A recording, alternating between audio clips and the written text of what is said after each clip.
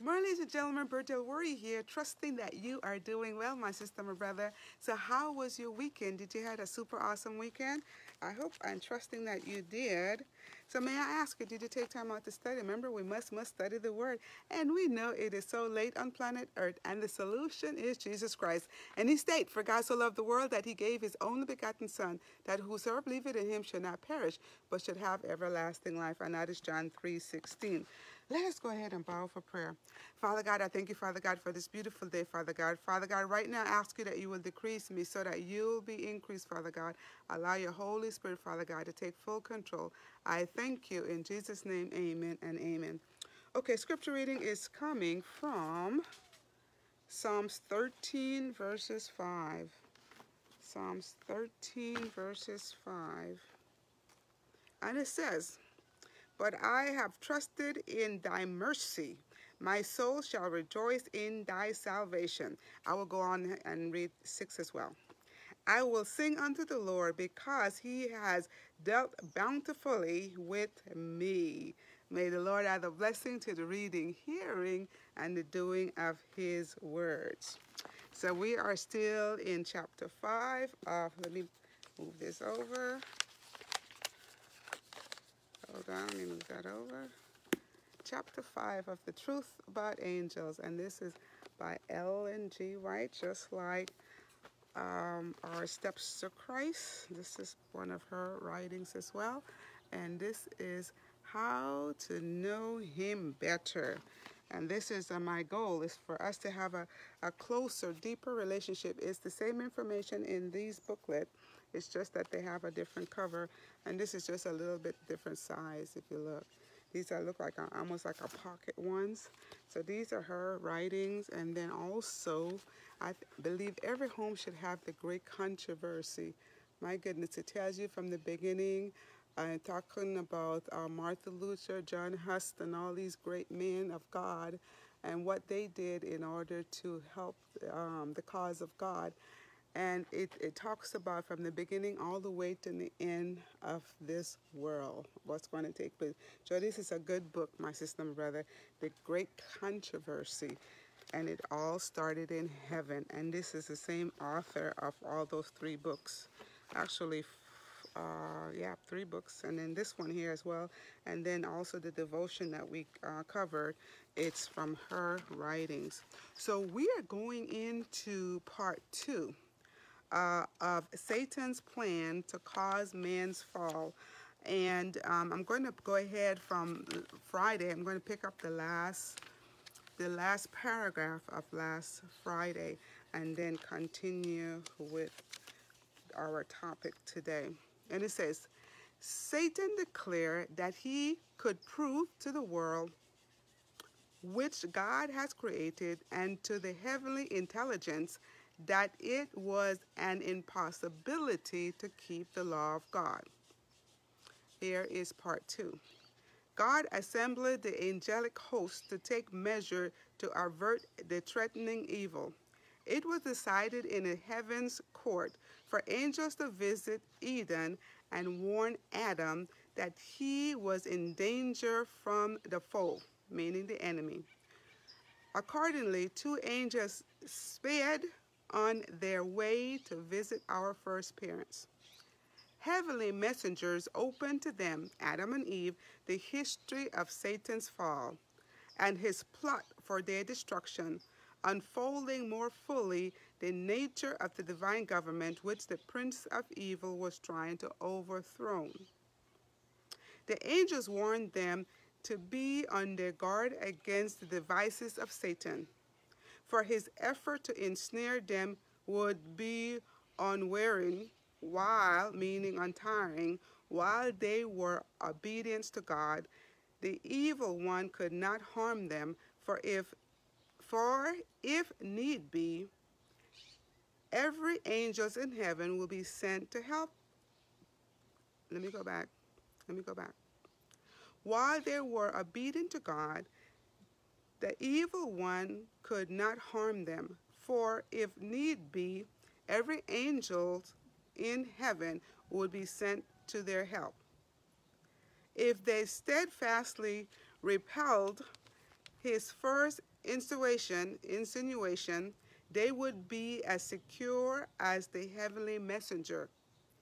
But should they once yield to temptation, their nature would become so deprived that in themselves they would have no power or disposition to resist Satan. And if you have the book, uh, Patriarch and Prophet, is page 52 and 53. The angels cautioned Eve not to separate from her husband in her employment, for she might be brought in contact with this fallen foe, meaning the enemy. Is separated from each other, they would be in greater danger than if both were together. The angels charged them to closely follow the instructions God had given them in reference to the tree of knowledge, for in the perfect obedience they were safe. And this fallen foe could have access to them only at the tree of knowledge of good and evil. So, so the warning was the angels cautioned Eve not to separate from her husband in her employment. Remember, they were the ones that was tending the gardens. Okay, so it said, Adam and Eve assured the angels that they should never transgress the express commandment of God, for it was the highest privilege to do his will. The angels united with Adam and Eve in holy strain of harmonious music. And as they sung plead forth from the blissful Eden, Satan heard the sound of their strain of joyful adoration to the Father and Son. And as Satan heard it, his envy, hatred, malignity increased, and he expressed his anxiety to his followers to incite them, Adam and Eve, to disobedience. And you can find this in the Spirit of Prophecy, uh, I guess book one, uh, page 34 and 35. So that's conclude my topic uh, today, part two of Satan's plans to cause man's fall. So on tomorrow, Tuesday, we're going to go into Satan speaks to Eve through a serpent. Okay, so they did, did they this did they obey God? So we're going to find whether or not they heed God's uh, warning. Uh, we're going to do that tomorrow. So may I share with you my devotion? I always ask that question, huh? But it's very polite, right? It's very polite. I have this water bottle, and you know what? I don't really care for it. It was working at one point, but then it seemed like, I don't know, I don't really like it. And you know what happened? to things that I don't like, it eventually ends up in the trash. Okay, so here we go.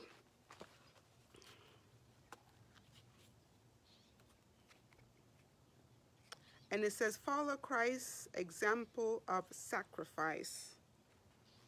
Follow Christ's examples of sacrifice. And it states, Take my yoke upon you and learn of me, for I am meek and lowly in heart, and ye shall find rest unto your souls. And this is coming from Matthew chapter 11, verses 29. Let us bow for prayer. Father God, I thank you, Father God, that you have not left me here by myself, Father God. Allow your Holy Spirit to continue to take full control, Father God. And I thank you. In Jesus' name, amen and amen. It says, those who would at least be receiving into heaven as members of the royal family must here give themselves, body, soul, and spirit to the service of him who paid the price of their redemption. All that we have and are belongs to the Lord. Ye are not your own, the apostle declare. For ye are bought with a price. Therefore, glorify God in your body and in your spirit, which are God's. And you can find this in uh, 1 Corinthians chapter 6, verses 19 and 20. Have you consecrated yourself wholly to the Lord? Can he use you as a vessel unto honor? Are you faithfully acting your part in his cause? To every man, God has given his work. He expects every believer to cooperate with him in the work of soul saving. When he cause, no, when his cause is suffering for means, how can anyone set a price on his service, refusing to take up the cross daily and practice self-denial for Christ's sake? The fulfillment of the promise that we shall be joint heir with Christ rests upon our willingness to deny self. When Christ takes possession of his kingdom, it will be those who on this earth has followed him in self-denial and sacrifice who will receive the reward of eternal life. Christ calls to sacrifice and unreserved surrender, meanings crucifixions of self. In order to obey this call, we must have unquestioning faith in him as the perfect example. And we must have a clear realization that we are to represent him to the world. Those who work for Christ are to work in his line. They are to live his life. His call to unreserved surrender is to be to them supreme. They are to allow no earthly ties or interest to prevent them from giving him his homage of their hearts and the service of their lives. Earnestly and untiringly, they are to labor with God to save perishing souls from the power of the tempter. Those who are thus connected with Christ learns constantly of him, passing through the successive stages of progression in the Christian experience. Difficulties and perplexity comes to them, that they might learn more perfectly the will and the way of Christ. But they prayed and believed, and by exercise their faith increased. Let me repeat that. But they prayed and believed, and by exercise their faith increased. Take my yoke upon you, Christ says, as in human nature he lived and worked upon this earth. Constantly he wore the yoke of submission, meeting the difficulties that human beings must meet, bearing the trials that they must bear. The enemy will constantly assault us as he assaulted Christ, bringing against us strong temptation. But for everyone, there is a way of escape. Let me repeat these last two. So it is the enemy's job, it says the enemy will continually assault us as he assaulted Christ, bringing against us strong temptation. But for everyone, there is a way of escape. So that concludes my, my devotion, my sister, my brother. Follow Christ's examples of sacrifice. Okay? So we have to be self-denial individual in order to receive eternal life. So if we stating that we are doing our own will, I'm going to do what I want to do. Guys, I'm a big girl now. My sister, my brother, then you will not make it in. Because as big girls, we have to surrender and become that childlike uh, character, a childlike that when someone uh, comes to you and tells you, well, you know what, sis, um, you know, you need to do better in this area, you won't get offended, right? Because remember, we're all here to help one another to reach a higher level.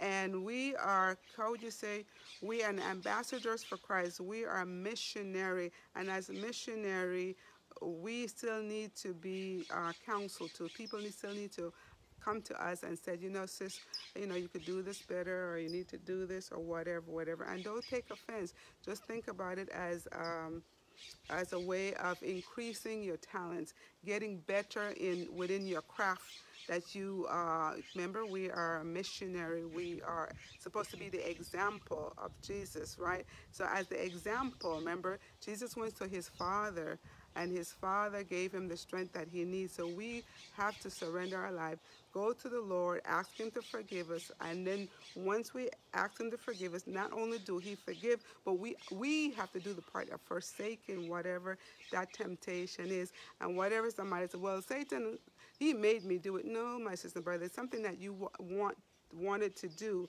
and he just put it in front of you and put it on a on a beautiful plate and he offered it to you.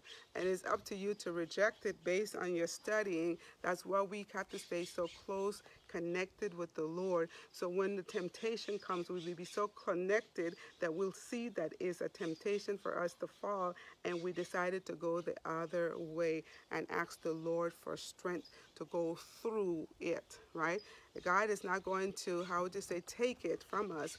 Uh, because remember, whatever we go through is to make to make us stronger. So we don't want to ask Him to take it. We want Him to act to, to give us the strength to go through whatever it is that He placed in our hands. So remember, at the end of the day, everything we do goes back to the Lord. It's supposed to give all praise and honor to Him. So may I share, uh, do my hymn? I do my hymn. Let me drink some water. Okay. I know whom I have believed. I know not why God wondrous grace to me he has made known, nor why unworthy Christ in love redeemed me for his own, for his own. But I know whom I have believed, and I'm persuaded that he is able to keep that which I have committed unto him against that day. I know not how his saving faith to me he did impart, nor how believing in his word wrought peace within my heart. But I know whom I have believed, and I'm persuaded that he is able to keep that which I have committed unto him against that day. I know not how the Spirit moves, convincing man of sin, revealing Jesus through the Word, creating faith in him. But I know in whom I have believed, and I'm persuaded that he is able to keep that which I have committed unto him against that day. Here's the last verse. I know not when my Lord may come, at night or noonday fair, nor if I walk the vault with him, or meet him in the air. But I know whom I have believed, and I'm persuaded that he is able to keep that which I have committed unto him against that day. I know whom I have believed, my sister, my brother. So we have to know beyond of a shadow of doubt whom we believe. And by the, having the belief, we have the faith, my sister and brother. So we praying, we have the faith, we're fasting, and we are just moving on and reaching higher and higher. Yes, the Christian journey is not an easy one, but nevertheless, my sister and brother, it's going to be all worth it in the end. So if you are having challenges, maybe health issues, maybe financial issues, maybe a relationship issue, maybe issues on the job, maybe issues, whatever issues, whatever it is, my sister and brother. God knows it. He sees it, my sister and brother. So you have to do your part. Pray and ask Him to give you the strength, right, to go through whatever it is that He has placed on your plate today. And in the process of you giving him the praise, the honor, and glory, what that does for, I don't know for you, but what it does for me, it keeps my eye off of the issue. And I'm, as I'm giving him praise, it seems like the, what I'm going through is just so small. It is so small compared to what Jesus went through for us. And remember, God the Father, I don't even have that part right now. I, I usually keep it. God the Father has measure what you were going through. He has measured it. He knows that you can pass the test as long as you are faithful and you rely totally on Him. And so, as that's a huge bird. So, as He um, place it in your lap, my sister and brother, as He place whatever trials, anxiety, health issues, whatever it is in your lap, he knows that you can pass the test. I remember, everything that we go through is for a reason. You might not know it right now, right? Just like Job, he never knew what, what, why he had to go through what he did. But at the end of the day, you're either going to end up with a testimony from out of that burden that you were that just a burden was lifted at the cross as the Lord lifts your burdens, my sister brother, you'll be giving him the testimony. So when you go to church, you'll have a testimony. When your friends come by or someone is calling you, you have a testimony. And you know what? Sometimes that person that's calling you, it could be that person that's going through what you had just passed through. Isn't that beautiful how God does things? And sometimes what we're going through is not for us, but for us to give God the glory. Maybe somebody else might be going it, going through that in the future, and they will be calling on you to see, my sister, how did you do? How did you come through that? My brother, how did you come through that? So as I said, the Lord has weighed everything you're going through. He has weighed, He's measured He knows that you can pass the test. And each one of us, as we call ourselves Christians, ambassadors for the kingdom, we will be going through hard times. We have to go through it because God sees something in us that is not like Him. So, in order for us, for Him to refine us, we have to go through the fire. You know, we got to become that, that perfect vessel for Him. And so, as we going through the storms of life, do not complain, do not murmur, do not bicker. What you need to do, you need to just, if you want to put a little bit of sweetener in that cup, Put patient endurance and prayer. So put some pep in your step. Patient endurance and prayer is your pep that you need in your um, in your bitter cup, and that will kind of make it a little sweeter, sweetener for your bitter cup as we go through these difficult days of Earth history. And remember, God's children always go through difficulties because you have to, God has to make sure that you are willing to do everything that he had called you to do. So just my sister brother, just remember, think about Job, read the story of Job, right? So remain faithful until the end. So get ready, get ready Jesus is coming soon. Let us bow for prayer. Father God, I thank you, Father God, for this message, Father God. I thank you, Father God, that you did not leave me here by myself, Father God. I thank you, Father God, right now that you're blowing this wind and you're cooling off the valley. And I thank you, Father God. Thank you for the birds that I can see, the birds that I can hear, the squirrels up in the tree, the animals that you have surrounded me with, Father God. I thank you, Father God, and I thank you for my sister, my brother that stopped by here today and the ones who will stop by here in the future. Father God, you know our individual need, and we thank you, Father God, that you have already provided solution. All we have to do is continue praying, believing, and have faith Father God, it state that if we have the faith as the size of a mustard seed, Father God, we can remove the mountain, Father God. So, Father God, we ask you, Father, for the love, for the power, for the peace, for the patience that we need to go through these last days, Father God. Father God, now take these empty vessels, Father God. If we have done anything that was not pleasing or acceptable, Father God, we ask you that you forgive us and make us whiter than snow. Then fill us, Father God, with the love, the power, with the peace, with the patience. Father God, with the kindness that we need, Father God, with the brotherly love that we need for one another. We thank you, Father God. We thank you. We love you. We love you. In Jesus' name I have prayed. Amen and amen. Okay, my sister and brother, can you do me a favor? So if this was a blessing to you, can you hit the like button? Can you hit the comment? What are you doing today? I'm doing some studying. Um, I'm just doing, doing, doing, doing. So then you can hit the share button. And then you can follow me over on YouTube under Berdel Warrior. While you're there, hit the subscribe button, hit the bell notification. And I thank you, thank you, thank you for helping me grow my YouTube channel.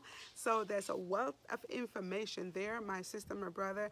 And then also if you scroll down on the links, I have uh, a wealth of information. Um, I got some products there as well that you can click on and to, um, to help boost your immune system or even uh, stuff if you have problem skins and all that stuff. So my sister, there's a wealth of information there as well in my on my YouTube channel. And if those of you that probably stopped by for the first time, you can also scroll down on Facebook and you see some of my other um, the, the videos there as well because uh, some people might say I don't have YouTube and some people might say I don't have Facebook but you know so you got Facebook or you got YouTube. So thank you thank you thank you my sister brother. Thank you for taking the time out of your busy schedule to stop by here today. May God continue to richly bless you. Overflow your cup I tell you, don't you love the overflow? God has a God has, has a way to overflow our cup. But if you're looking for the overflow, you will find it. But if you're looking for one of those people that you complain, complain, complain, you're not going to see it. So glory, glory, glory to God, glory to God. So, but before you go, may I have may I have a hug? May I have a hug? So here we go. One, two, three. Thank you so much, my sister and brother. I love you, love you, love you. I appreciate you. Until tomorrow, be blessed and take care.